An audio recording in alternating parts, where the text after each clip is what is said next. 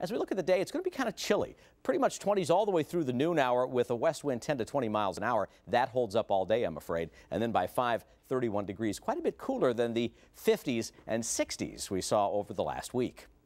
In the meantime, regional picture pretty quiet. There's some snow way back here in parts of Missouri and Iowa. And there's a little bit of lake effect going on off to the north of us, but neither one of those is going to affect us at all today. So as we look at the model hour by hour so you can plan ahead, pretty quiet scanning through the day. Generally clear here early. Temperatures in the 30s again tomorrow and then Bottom drops out. Wednesday, we're down in the teens for a high. By Thursday morning, we're down probably in the single digits in many areas, around 10 here, 27 in the afternoon. Friday, also a cold one with morning lows in the teens. And by the weekend, more single digit lows. Notice uh, after we rebound out of the teens, we're stuck in the 20s Thursday through Sunday. So pretty chilly week ahead.